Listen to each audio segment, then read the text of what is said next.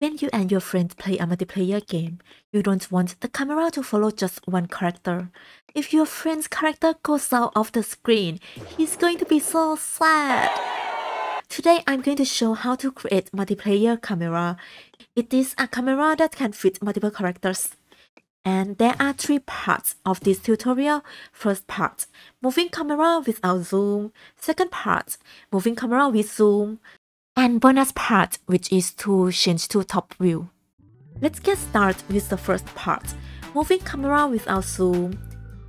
So here is the current setting. There are two persons. And these persons can move around. For this tutorial, I'm going to use advanced camera nodons, which are camera position and camera targets.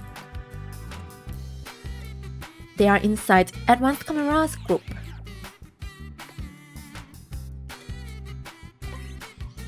So what are they?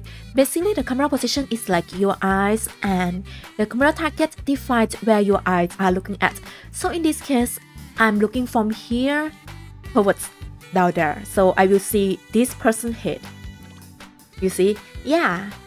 But if you want to know more about these nodons, feel free to check my advanced camera tutorial in the description box below.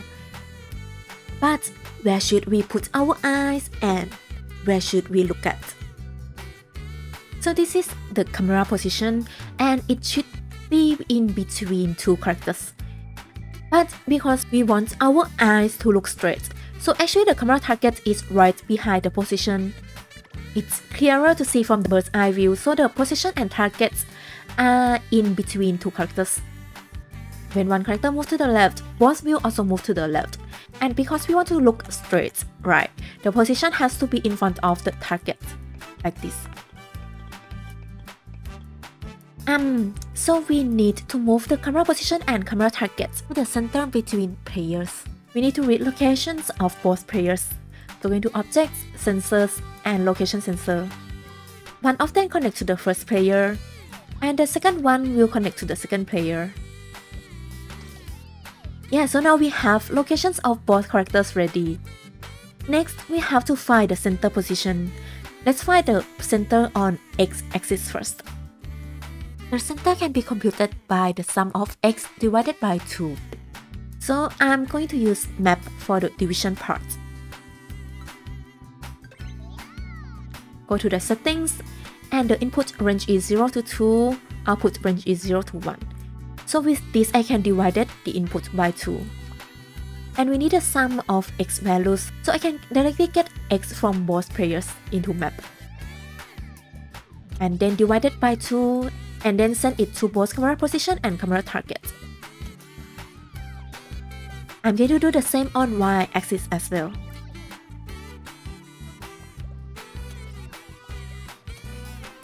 The sum of y values and then divided by 2 and let this control y of both position and target.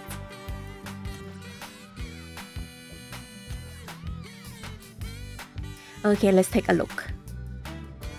It looks incorrect. Why? So there are two things to note here. The inputs here are relative to the position of cameras in the program screen. So we have to go to the settings and make sure that the offset is an inverse of the position. So here if it is negative 7.2, here it should be positive 7.2. 5.2, change it to negative 5.2. And we have to do this with camera target as well we set offset to be 7.2,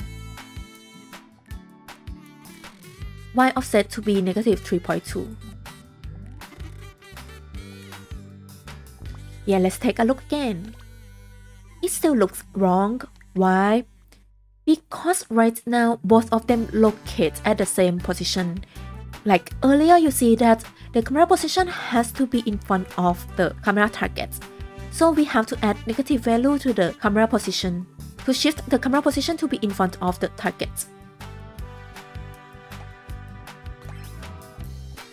Let me change this to negative 10. And you can try different values here.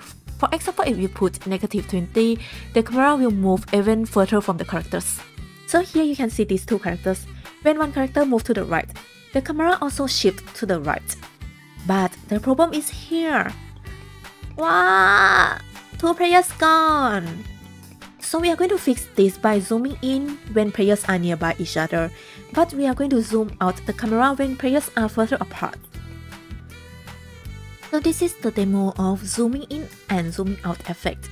So of course the target is still the center between two characters, but once the player move further apart, the distance between two of them are larger, right? So the position will start moving towards the z negative axis. Yeah. And with this, it means we are zooming out. Once they are getting closer or the distance is smaller, yeah, the position camera will also move closer and this means we are zooming in. So to move camera to zoom in and zoom out, I have to know distance between two characters. I'm going to use an approximate distance between these two players instead of the exact distance. To approximate the distance, I will use L1 distance which is the absolute value on x difference plus the absolute value on y difference. Okay, let's find the difference of x values first. I'm adding minus nodon and then the inputs are x of the first player and x of the second player. Then I'm going to add absolute value. Send minus output to absolute input. So here I can have the absolute value of x difference. I'm going to do the same with y axis as well. Copy this but the input here should be y values. And because when the distance grows larger, the camera position should be more negative because we have to push the camera away from the characters. So here I'm going to add inversion nodon.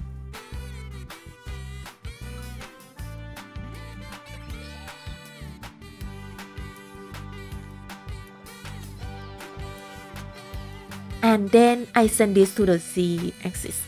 So here when the distance grows larger, I will keep moving the camera towards the z negative direction, which is further from the character and it will give the zoom out effect. Let's test. So yeah, when I move right, both move right. And when only one character move to the right. See, if you continuously zooming out. Yes, for some final touch, we are going to shift the platform down a bit and also remove these white lines. Removing those white lines is quite simple. We can just go to location sensor and remove visible properties.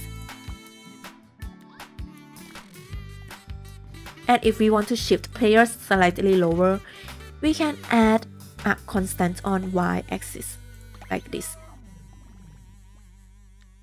So basically we have to shift the camera up. It will look as if the person is moving down. I'm connecting these to Y values of both. Okay, let's take a look. So now the person is moving down a little bit. Right. Yes. Yay. This technique is also applicable to the bird's eye view. You will need some slight modification so here both camera target and camera position are moved around X and Z plane, but when zooming in or out, I will change the value on Y axis. And because I'm moving camera up on Y axis, this constant has to be positive, and I no longer need inversion for moving camera up, down or zooming in, zooming out. Yeah, and that's it. Don't forget to like, share, and subscribe. I have also put the codes here for both side-scrolling view and also the top-down view. And don't forget to check out my advanced camera tutorial if you haven't seen them. Bye bye and see you next time.